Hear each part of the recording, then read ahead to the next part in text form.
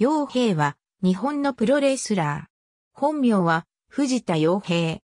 2008年12月22日、ドラゴンゲートの若手工業、ドラゴンゲートネックスで藤田洋平として対今野健一戦でデビュー。2009年1月18日、ドラゴンゲート大阪府立体育会館第2競技場大会でドラゴンゲートに初登場。3月20日、勢いの良さとファイトぶりを評価されて、ユニット、ウォーリアーズマイナス -5 に加入と同時にリングネームを、リョマに改名。リングネームは、シーマの首の治療時にトレーニングパートナーとして、訪れた高知県ゆかりの坂本龍馬にあやかったもので、ある。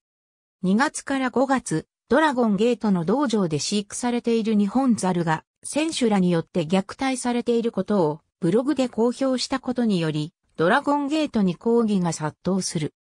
虐待に関与していないものの、その告発ブログが騒ぎの発端であるとされて6月より無期限謹慎処分となり、後に期間が処分の開始より1年間とされたが、騒動の責任を負う形で12月31日に対談と同時に引退を発表。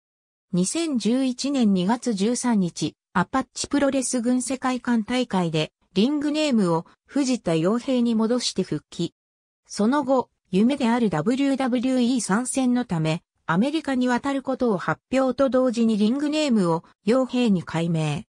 7月15日、スマッシュ後楽園、ホール大会で、対 AKIRA 戦でワールドトライアウトが行われて、試合には負けたが実力を認められて合格。スマッシュからは過去について公表はないが、ドラゴンゲートを主戦場にしているガンマと同じリングに立つことになった。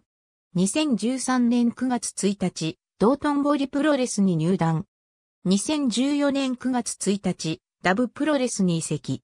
2017年9月3日、プロレスリングノアに移籍。ありがとうございます。